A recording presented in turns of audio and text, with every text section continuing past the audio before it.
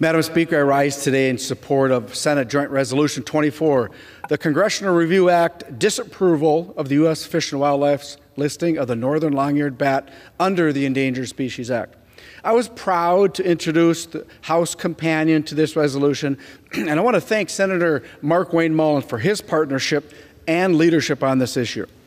The intended purpose of the Endangered Species Act, when it was passed into law a half a century ago, was to protect and conserve species.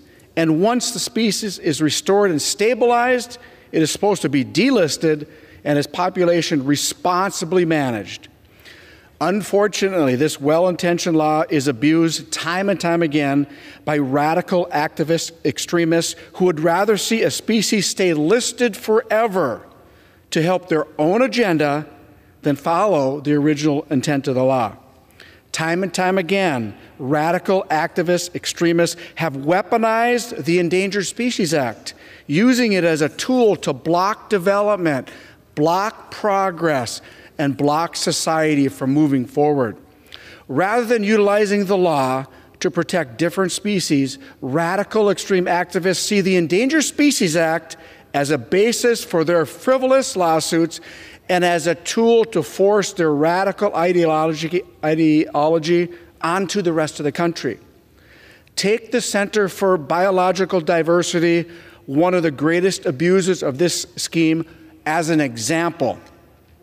When the U.S. Fish and Wildlife Service decided against listing the Minnesota and Midwestern moose in 2020, they shared with the Minneapolis Star Tribune, Tribune, and I quote, now it is going to be a lot harder to ensure that things like mines and other habit destroying projects don't go forward, end quote. Madam Speaker, the Center for Biological Diversity said the quiet part out loud. Their intent was not to protect the species, but abuse the Endangered Species Act to advance their radical anti mining, anti development agenda. Today, the northern long eared bat can be found across more than half of the lower 48. Its listing under the Endangered Species Act is not based in science. The northern long eared bat is affected by white nose syndrome, a disease that has no ties, and I'll repeat that a disease that has no ties to human activity.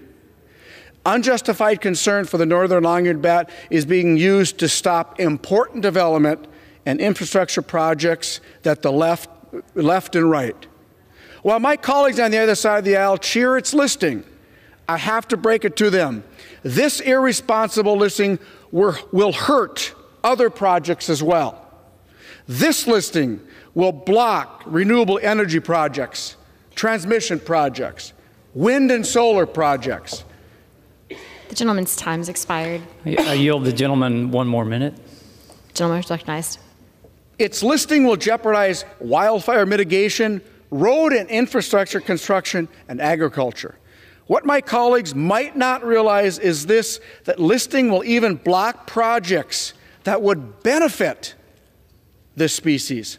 The Endangered Species Act is an important law that can help move our country forward. We should return to its intended purpose as a tool for conservation and good stewardship of our environment, not a tool for the radical activist extreme agenda.